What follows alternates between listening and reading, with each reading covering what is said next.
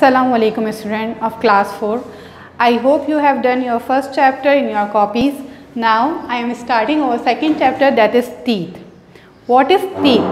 teeth क्या होते हैं teeth हमारे दांत होते हैं सही है दो तरह के दांत होते हैं जब हम छोटे होते हैं तो हमारे पहले मिल्क टीथ जो हैं वो ग्रो करते हैं जिसे हम दूध के दांत भी कहते हैं और ये कितने होते हैं ये ट्वेंटी इन नंबर्स होते हैं उसके बाद आहिस्ता आहिस्ता जब हम ग्रो अप होते हैं तो हमारे मिल्क टीथ जो हैं, वो फॉल आउट होना शुरू होते हैं, टूटना शुरू होते हैं, और उसकी जगह परमानेंट टीथ जो है, वो हमारे ग्रो हो जाते हैं।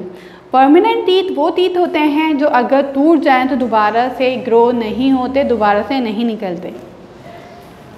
ये हैं मिल्क टीथ और परमानेंट टीथ कितने होते हैं नंबर्स में? 32 मैक्सिमम 32 जो हैं, वो परमानेंट टीथ मौजूद हैं हमारे माउथ में। उसके बाद आता है टूथ टाइप्स दांत, अगर आप अपने मुँह को खोल के देखें शीशे में तो आपको नज़र आएँगे कि हमारे डिफरेंट अलग अलग तरह के दांत हैं। सही है? टूथ किसे कहते हैं? एक दांत को टूथ कहते हैं और जो प्लूरल होता है उसे टीथ कहा जाता है।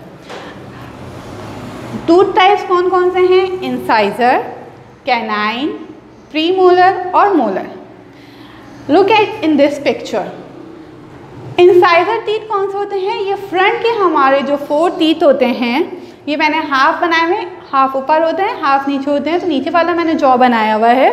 तो फ्रंट के जो ये फोर टीथ होते हैं फ्लैट होते हैं, इन्हें इंसाइज़र कहा जाता है। और इनका काम क्या होता है? ये किस लिए काम आते हैं?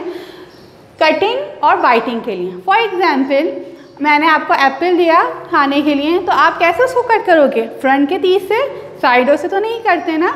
तो ये हमारा या हम रोल खाते हैं तो वो भी हम आगे के तीस से ही कट करते हैं। तो ये इंसाइडर तीत जो हैं वो कटिंग और बाइटिंग का काम करते हैं। सेकंड तीत आते हैं हमारे कैनाइन कैनाइन फोर टीथ के बाद आप देखेंगे तो आपको हल्का सा शार्प तीत जो है वो नज़र आएगा, इन्हें कैनाइन कहा जाता है। कैनाइन टीथ का क्या फ़ंक्शन होता है? ये फ़ूड को टेयर करने का। अब आपके पास एक लेग पीस है तो आप उसको किस तरह खाओगे। हल्का सा साइड से जब आप खींचोगे तो वो कैनाइन टीथ से ही कट होगा।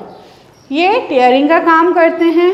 उसके बाद आते हैं हमारे पास pre molar pre molar canine के बिल्कुल बराबर में होते हैं। ये रहे प्लू मोलर ये थोड़े से जो हैं बड़े साइज़ के होते हैं। और ये च्विंग का काम करते हैं। जब हम बबल्स वगैरह मुँह में चबाते हैं तो ये हमारे प्री मोलर्स जो हैं, वो वर्क कर रहे होते हैं। देन उसके बाद आते हैं हमारे मोलर टीथ मोलर टीथ जो हैं, ये बहुत स्ट्रॉन्ग और बड़े साइज़ के होते हैं और ये खाना जब हम कोई भी निवाला खाते हैं तो वो उसको बिल्कुल ग्राइंड कर देते हैं। जैसे अगर हम कोई चीज़ ग्राइंडर में डाल के पीसते हैं बिल्कुल तो इस तरह से बिल्कुल ग्राइंड करने का काम कौन करता है? मोलर टीथ करते हैं। सही है?